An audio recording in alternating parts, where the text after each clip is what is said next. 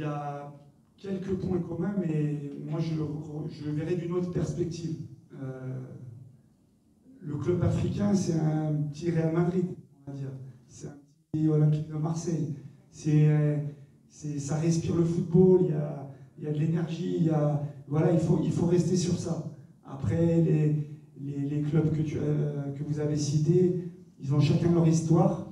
Et mon présent et mon futur, c'est, d'écrire des pages de cette histoire avec tous les gens euh, qui ont eu confiance en moi et qui m'ont permis de, de signer pour euh, ce merveilleux club.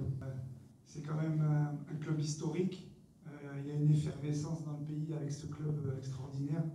Donc je souhaiterais vraiment m'inscrire euh, dans un projet euh, avec ce genre de club-là, avec des grandes ambitions, avec un projet qui, est dessiné sur, sur, avec l'idée de, gagner, parce que de toute façon, dans tout projet ambitieux, le résultat, c'est gagner. Maintenant, pour gagner, euh, il, faut, bien préparer les choses. Euh, je viens ici avec, euh, malgré mon, passé fait de succès au Real Madrid, je viens avec beaucoup d'humilité. Je viens simplement apporter une expérience supplémentaire à la grande histoire de ce club, à ce qui est déjà fait depuis quelques années. Donc, en fait, Simplement, euh, je suis vraiment, je remercie euh, le président, le vice-président Ahmed, je remercie vraiment tout le monde, l'actionnaire, enfin tout le monde, je ne veux pas m'oublier. Et euh, j'ai impatience de commencer l'aventure.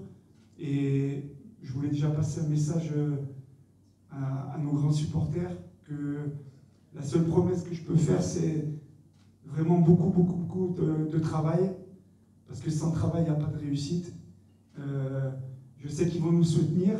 Et, je pense qu'il faut que ça soit le 12e homme. Et, euh, et, pour ça, on devra le mériter euh, par notre envie sur le terrain, par le, bon travail qui sera fait par tout mon staff, parce qu'évidemment, je ne viens pas tout seul, et par le soutien que j'ai vu depuis le premier jour de, tout le club à mon égard.